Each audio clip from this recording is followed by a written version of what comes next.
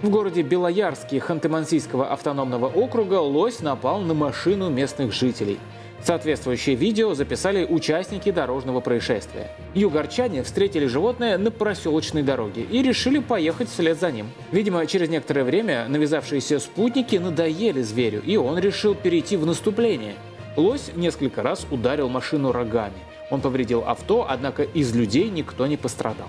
Все эти мнения относительно инцидента разошлись. Некоторые утверждают, что автор видео сам спровоцировал нападение, ослепив животное.